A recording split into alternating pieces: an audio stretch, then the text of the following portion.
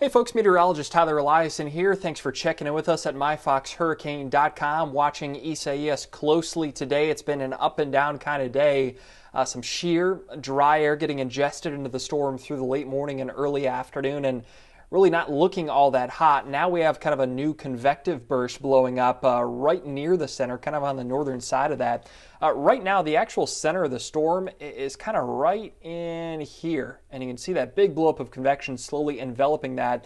That's going to want to tuck this center back underneath that, kind of drawing it straight to the north. So we'll see if we maybe see the storms re-strengthen into a hurricane. As of 5 o'clock, it was downgraded to a tropical storm with winds of 70, 70 miles per hour. You may see those winds go back up to 75 or 80 and it become a hurricane at 8 o'clock or 11 o'clock with subsequent advisory. So a little uptick in intensity certainly possible as it nears landfall along Florida's east coast tomorrow afternoon. It's going to be a really close call for the east coast of the state. It may certainly stay 10 or 20 miles offshore, which would be great. That'll lessen uh, not only the wind impacts, but probably the surge impacts as well.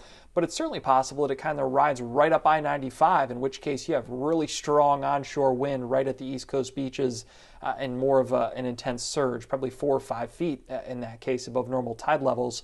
Uh, if you're further west in the state, say over towards Tampa Bay, uh, the further west you go, the, the less impacts you're going to have. Wind gusts of 20, maybe 30 miles per hour tomorrow afternoon and you'll get some fast moving showers kind of sweeping east to west across the state tomorrow uh, as well. Certainly manageable. The worst of the weather is going to be on the east coast of Florida. From there, we'll watch Isaias slowly make its way up the east coast. Uh, coastal Carolinas will have to watch it on Tuesday, and later on in the week, New England, certainly some impacts with some wind and rain. Probability of tropical storm force winds near 100% in West Palm Beach. Uh, near the coastline on the East Coast, obviously a better bet for seeing some of those stronger wind gusts, but it drops off substantially the further west you go. So, watching ES, ECS closely uh, the rest of the day today. Landfall, if there is one, is going to be sometime Sunday afternoon. We'll keep you updated here at myfoxhurricane.com through the weekend. Stay well.